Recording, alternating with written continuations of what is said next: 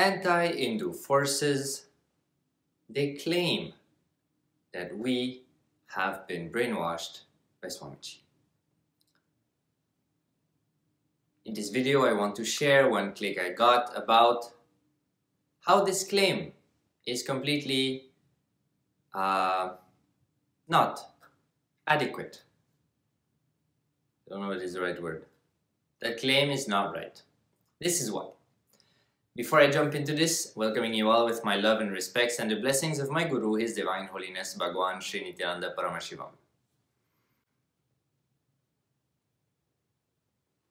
People who are abusing uh, me, Sangha, Swamiji, um, they bring forward this thought current, which is we are not ourselves ourselves.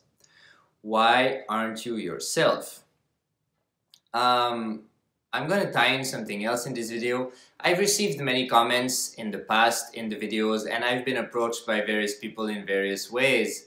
And uh, one thing that happened uh, quite often in various comments and perhaps direct interaction is that people are like, oh, you're a good guy, you have great skills, great talent, you're great. But Swamiji is a fraud. You should dissociate yourself from Swamiji and be yourself. Yeah, that's basically what they're saying. So they're praising me and telling me that I should disconnect from Swamiji because Swamiji is uh, is bad and uh, if I associate myself to him then uh, he's going to destroy me. So, the purpose for which you decide to go, at least one of the reasons why you decide to go on the spiritual path, why I decided to uh, become a disciple of Swamiji, and um, why people go towards um, the spiritual dimension or the um, to align their life more and more towards the spiritual truths is because I'll speak for myself here. I want to cognize and to understand the depth of these spiritual truths. I've read Swamiji's books, I've listened to many of Swamiji's satsangs, and when he speaks, somehow my being feels that yes, what Swamiji is saying is right.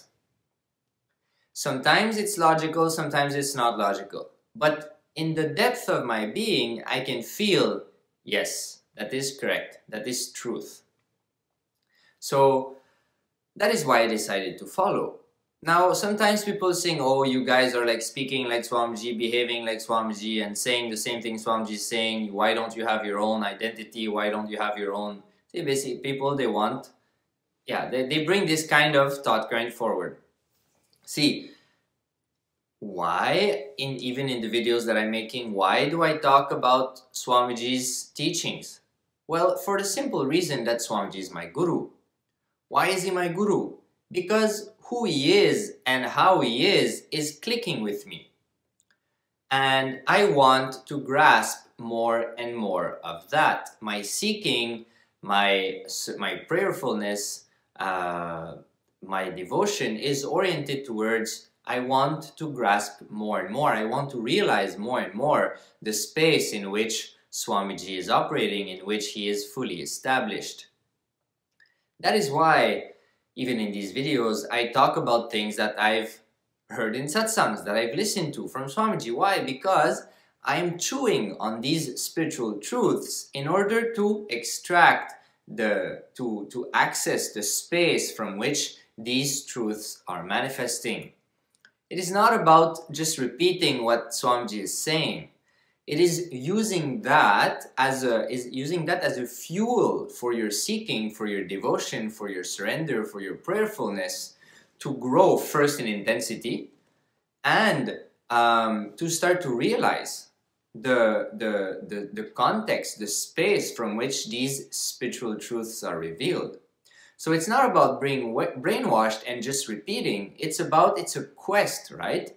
It's like you have a map and you have an X for the treasure on the map and you work towards that X. You walk towards that X. You work towards you reaching that X. That X is the spiritual truth that Swamiji is sharing. And the seeking, the prayerfulness, the devotion, the surrender is the space that needs to be cherished and intensified in order for me to act to reach that X, to reach that full grasping of that truth. And every time I have a click or I have a cognitive shift, I share about it. And I share about, you know, how I how it how this truth has clicked with me. Some truth have clicked with me in a stronger way, some have not, uh, or less. And the seeking keeps going until you realize because Swamiji is always in the same space. If he reveals one truth which clicks with me and that I seek the eh, and I seek the space from which the truth is revealed, it is from the same space space that another truth is revealed. So that's why seeking towards everything that Swamiji is saying is important because it all comes from the same space. If you're interested in that space, if you want to grasp that space and realize that space within yourself, then you should be constantly seeking towards what is Swamiji is sharing with us, what Swamiji is doing, how he behaves, how he responds, how he reacts, how he you know shares, how he enriches. There's a reason why he enriches in the way that he's enriching. It is that space. So to grasp that space, you need to constantly explore the various dimensions that Swamiji is radiating, Swamiji is expressing, Swamiji is using to relate to us. Uh, and yeah, so it's not about being brainwashed. It's about having seeking, being on that quest, and sharing this adventure towards experiencing more and more of Swamiji. And by the way, Swamiji is not a finite thing. Swamiji said in one satsang in the past, he himself does not know himself. So it is the romance with the unknown. Swamiji is the embodiment of the unknown. And relating to Swamiji, connecting to Swamiji, having devotion, seeking, prayerfulness, um, and all that towards Swamiji is nothing but relating with the unknown. So that's what I want to share in this video. Um, so don't necessarily feel uh, lost when you know people bring these ideas forward they don't grasp the context or at, at least they don't want to grasp they're not interested so they have their own conclusion and they are copy pasting their conclusion onto people around them and uh, that is not right that is not from, that is not a behavior that comes from the right space because we have to come back to that space of seeking devotion, surrender, prayerfulness, only then we, we, we radiate more and more of this space of non-violence. When we are not in that space, we are violent in various ways. Some ways are more obvious, some ways are less obvious, but the intensity of the violence remains, and that is why we do not experience fulfillment on a daily basis. We do not experience an eternal fulfillment, eternal bliss, right? That is what Swamiji's name means. Nithyananda means eternal bliss. We have to find a space where we are eternally fulfilled, not temporarily fulfilled or, you know, momentarily fulfilled, but eternally fulfilled.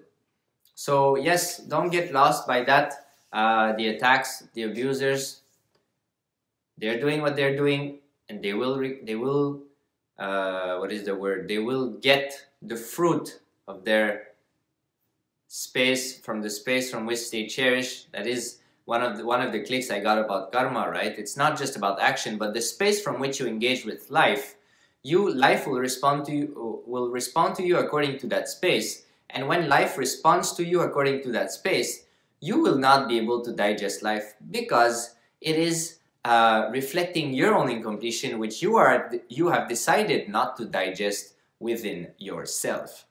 So that's what I want to share in this video. Uh, thanking you for watching. Again, subscribe, click the bell icon to know when I upload. I upload many times a day. Check the description below. I have a lot of nice content, including becoming an E Shri Kailasavasi if you want to become a spiritual citizen of Sri Kailasha, the greatest Hindu nation that Swamiji is the reviver of, and, uh, and everything else in the comments. If you have any questions, if you uh, clicked with what I shared, great, please leave a comment below. And in another video, I want to share also is why is Swamiji the solution for Hinduism? I know that's going to be a very uh, a topic which will be difficult to digest for some people, but uh, it is a very powerful uh, cognitive shift that I got and I want to share with you. So stay tuned, keep watching the videos, and I'll see you in the next one.